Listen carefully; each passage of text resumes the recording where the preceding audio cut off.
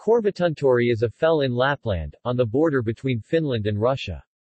Its Finnish part is within Urho Kekkonen National Park in the municipality of Savukoski. Its name literally means, ear fell, in Finnish due to its unique shape. Characterized by its thick pine forest, frozen lakes and hundreds of thousands of reindeer which roam the land, Korvatunturi stands 486 meters above sea level. It has three peaks, with the middle one between Finland and Russia's borders. Since Korvatunturi is located within the boundaries of the country, all visitors are required to secure written permission from the Finnish border guard. There are also no roads that directly lead to the fell, but there are hike trails that provide access, such as the one found in the Savukoski area. Cultural significance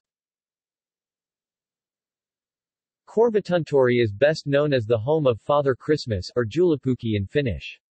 According to Finnish folklore, this land is the location of Father Christmas' secret workshop, where toys, trinkets and gifts are made and eventually wrapped by gnomes. Known for their good-natured demeanor and their role as guardians of homes, these gnomes are also responsible for analyzing weather patterns for the yearly gift-giving trip around the world. People have also said that the ear-shaped structure of the fell allows Father Christmas to hear the wishes of every child on Earth. In popular media, this legend has been adapted into the film Rare Exports, A Christmas Tale.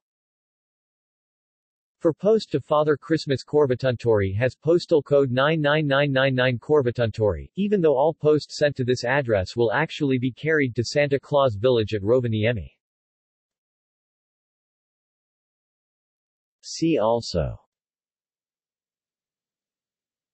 Christmas in Finland. Santa Claus Village. References.